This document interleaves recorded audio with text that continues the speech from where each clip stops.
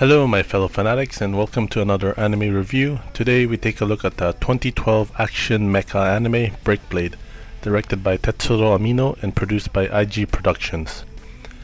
I've been hearing a lot of acclaim about this manga so I decided to check it out and have been reading it sporadically. However, I heard that it was turned into an anime so I had to check that out as well.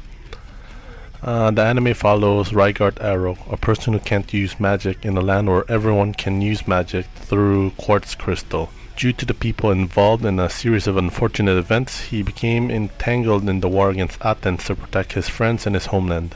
Um, if you've been reading my blog, this review was supposed to come out last Friday, but I don't know why I had the hardest time writing this review. I wasn't sure about my opinions about this anime, so please bear with it as I try to make sense out of it all. The presentation of this anime was quite nice, the voice acting was on point, the sound design did its job but was barely noticeable. The character design to me was quite odd for a material this serious, and the mecha design was interesting but I found that there wasn't a lot of variety in the designs. The story itself was quite generic, um, the same old war between kingdoms plot, uh, but what really drives this anime are the supporting characters. Their relationship with one another and the ties that binds them makes up for a great premise.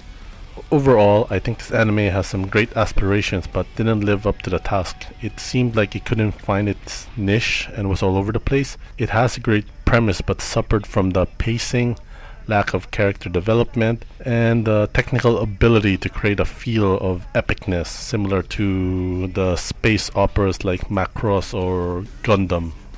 Also, uh, please note that the anime changed certain things to push the plot forward, so certain events never happened, or how certain things that occurred was not the same as in the manga.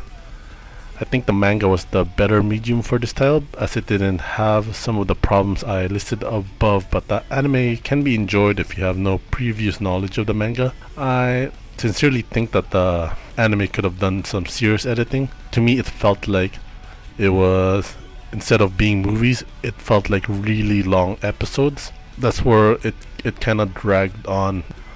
Well thanks for watching and hope to see you soon again.